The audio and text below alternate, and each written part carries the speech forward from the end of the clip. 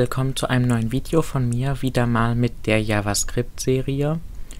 Und in diesem Video möchte ich euch etwas zeigen, was nicht so allzu schwierig zu verstehen ist, aber was man einfach wissen sollte. Und zwar, nehmen wir mal an, ich hätte hier eine Variable var a ist gleich 1. Dann mache ich hier eine Funktion f. Und hier mache ich mir auch eine Variable. Var a gleich 2 und jetzt gebe ich Entschuldigung jetzt gebe ich a aus. Console.log a.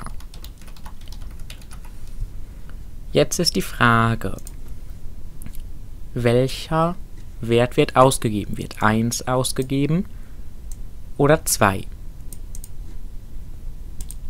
Schauen wir nach.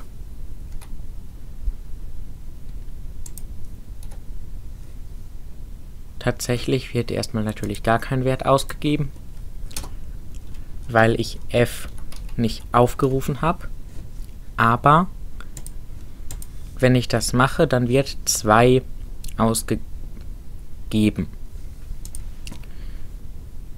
Das liegt einfach daran, dass sich die Variablen so verhalten, immer wenn so ein neuer Block gestartet wird,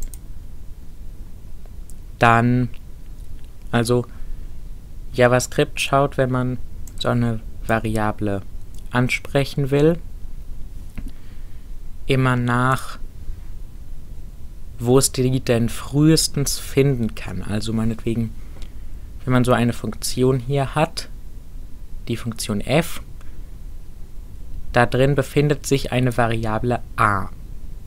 Und wenn das so ist, dann nimmt es die. Also es nimmt immer die, die quasi am nächsten dran ist.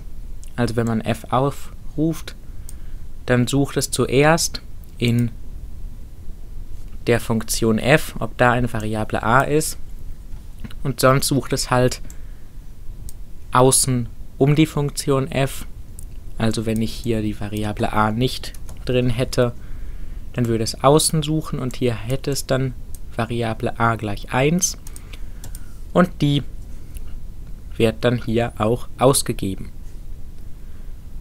Das wollte ich einfach nur mal kurz gezeigt haben. Das ist eigentlich nicht weiter verwunderlich, das Verhalten. Das kennt man von relativ vielen anderen Programmiersprachen auch aber ich wollte es einfach nur mal kurz gezeigt haben, dass es in JavaScript eben auch so ist. Und in der nächsten Episode kommt dann etwas relativ Interessantes. Und zwar zeige ich euch dann, wie man selber eigene Datentypen schreiben kann. Also wie kriegt man es hin, dass man selber eigene Datentypen schreibt. Zum Beispiel irgendwie einen Datentyp für eine Farbe oder so. Das kommt im nächsten Video. So, und dann würde ich sagen, ich hoffe, es hat euch gefallen. Ich hoffe, man hat es halbwegs verstanden. Wenn nicht, dann einfach in den Kommentaren nachfragen. Und bis zum nächsten Mal.